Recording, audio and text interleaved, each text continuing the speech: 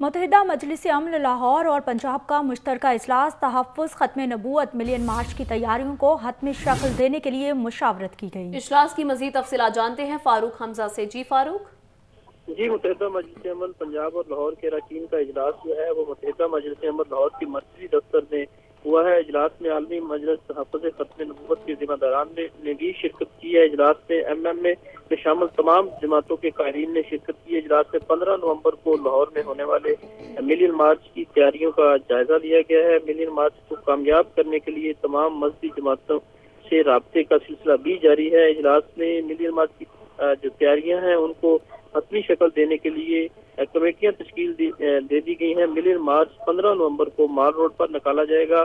اور ملین مارچ کی صدارت جو ہے وہ مولانا فضل الرحمان کریں گے۔ اس اجلاس میں مولانا اللہ سایہ، ڈاکٹر فرید احمد پراچا مولانا امجد خان فط اللہ مجاہد اور اجلاس میں دیگر جو مذہبی رہنما تھے وہ بھی شامل تھے۔ جی۔ ملین مارچ پندرہ نومبر کو مال روڈ پر نکالا جائے گا۔ شکریہ فاروق ہم صاحب کا۔